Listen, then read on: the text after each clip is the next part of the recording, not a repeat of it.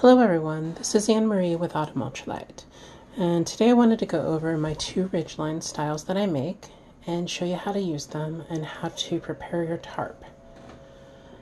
So my original ridgeline has a button knot configuration, and the button knot is how you attach the ridgeline to the first tree.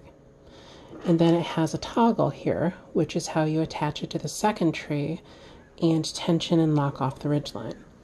Then it has a Namaclaw here, um, two of them, and that is how you attach your tarp to the ridgeline. And in my second one, um, everything is the same except instead of a button knot, it has a little titanium hook here made by Loop Alien. And then I give you these two shock cord loops, and uh, these are what the tarp attaches to the Namaclaw with, just like that. So the first thing you're going to do is you're going to lark's head these little loops here onto your tarp. So you locate the um, tie outs on your ridge line. And um, so then you just do a simple lark's head. So just push that up through. And then fold it over. And then do the same on the other end of your ridge line.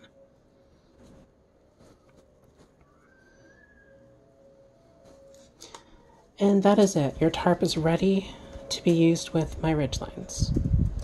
And from here, we're going to go off into the woods. Hey everyone, I'm out in the woods now to show you the rest of the video of how to use the ridge lines. Um, we're going to start with the original style that I make um, with the button knot, and I'll show you how to attach that to the tree.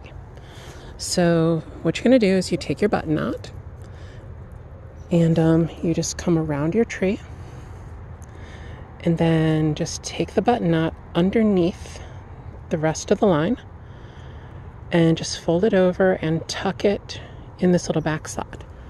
And that's it. You're attached to the tree. Um, and it comes undone super quick and super easy. So, to show you like full speed, just come around, tuck it in, and you are connected to the tree.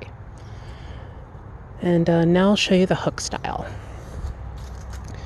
So for the hook style, again, you come around your tree and then just grab the line here and just place it over the hook.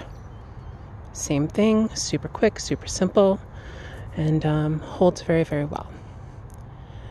So now we're going to head down to the opposite end and I'll show you how to use the toggle. And the toggle and everything is identical. It doesn't matter if you have the button knot style ridge line or the one with the loop alien hook. So, take a little stroll. And, um, okay. So, this is the toggle here.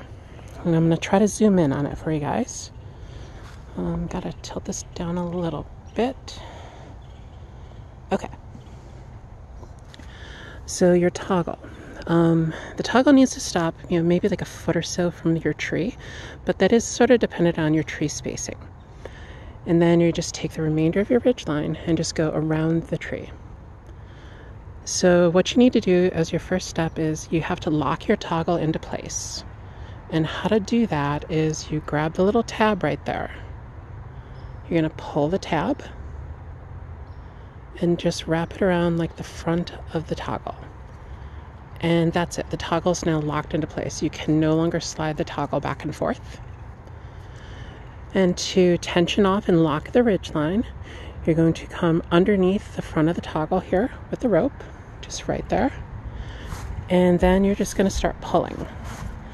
Just pull, and it is tensioning. And then you're going to lock it by pulling, and you'll kind of feel it click into place.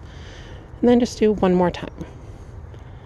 And that is it. Your ridge line is now locked off and you are attached to your tree on both ends.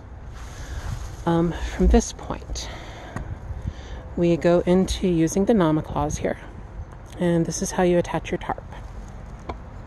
Let me tilt this up again.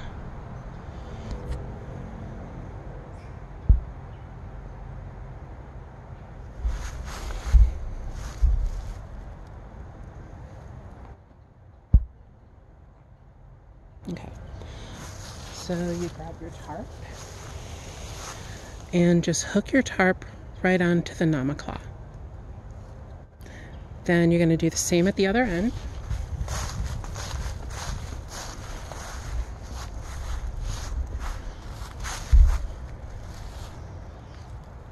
Just grab your tarp and just clip it to the Namaclaw.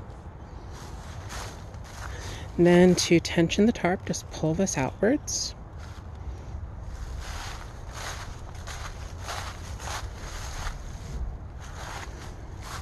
Just grab it right here and just pull it outwards. So after you have tensioned the tarp with the Namaclaws, at that point all that is left is to stake the tarp out to the ground. And that's it. And uh, let me know if you guys have any questions. Thank you so very much.